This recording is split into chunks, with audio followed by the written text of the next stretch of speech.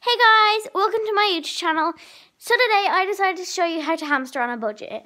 So um, first thing you're going to need is obviously food and water. So these are, I have got three proper water drinks for hamsters. Um, but this is just a nice kitchen bowl full of water and it's perfect for them.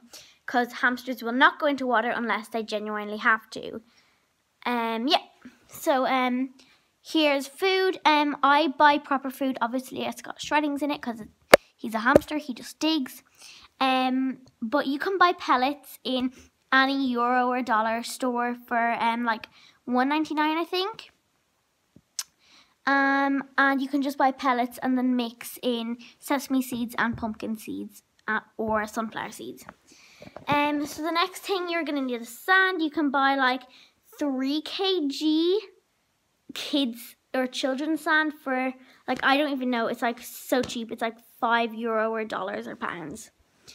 Um, so then you can buy um toys. These are just Jenga bricks that he can chew on. He doesn't chew on it, but you can buy them anyway. There's actually a little chewed corner there.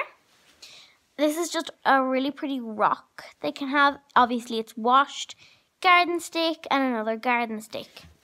So then you can use um, pieces of wood. You can wash them down and let them dry out, which is like I find the easiest way.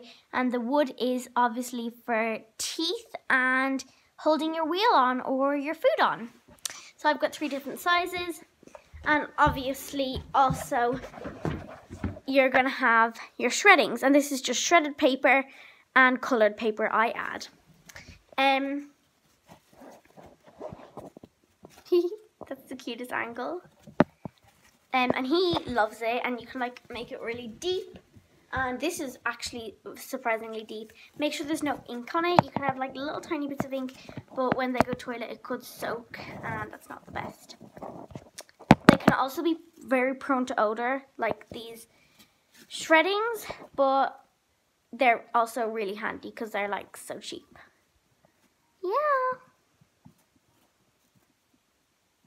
Alright, so you can obviously make your own DIY wheel. So how to make a DIY wheel, all you're going to need to do is um, uh, get like, uh, if, if you buy like circular sweet containers, like this kind of shape, you can get like a screw or nail and put it through it and put it on the cage, which is so handy.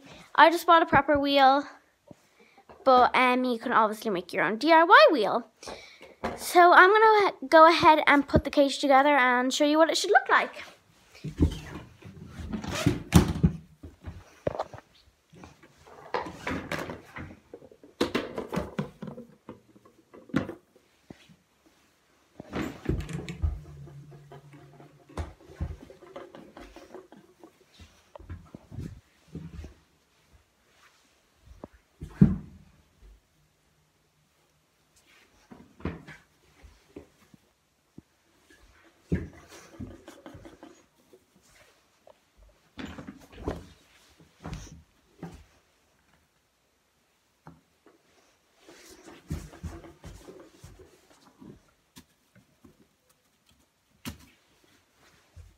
Okay guys, so I just finished it and I think it looks super good.